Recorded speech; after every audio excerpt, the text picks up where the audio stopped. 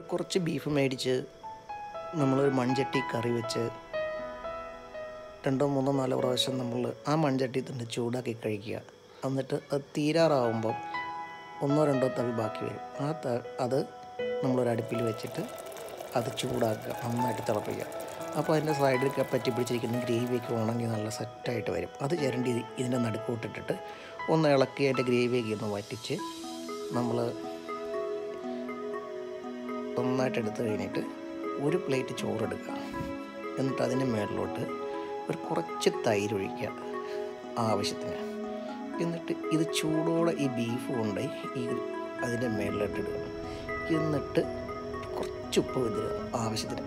അതിനുശേഷം നമ്മളൊന്ന് കുഴച്ചിട്ടൊന്ന് കഴിക്കണം. എന്താ ടേസ്റ്റ് ഈ ലോകത്ത് ഇത്രയും നല്ലൊരു ഫുഡ് ഒരിടത്തും കിട്ടില്ല. ഒന്ന് ട്രൈ ചെയ്ത് നോക്കട്ടോ